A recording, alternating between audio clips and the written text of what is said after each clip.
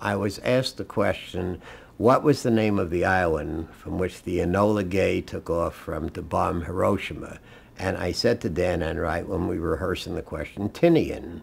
That's in the Marianas Islands. And he said to me, no. He said, my card says Okinawa, and I want you to answer Okinawa tomorrow night.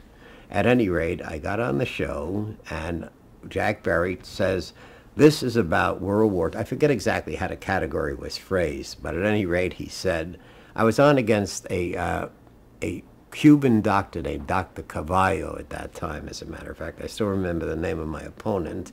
And I said, the island was Okinawa. And he said, that's right. And of course, it was wrong.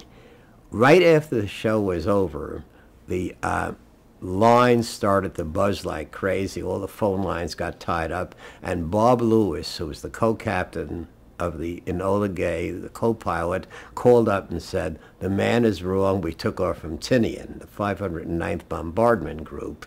And uh, sure enough, uh, everybody knew it was wrong. And Jack Barry explained this away by saying he had been looking at the answer to another question and accepted Okinawa. So they called back Dr. Cavallo, and I played against him the next week and, and beat him.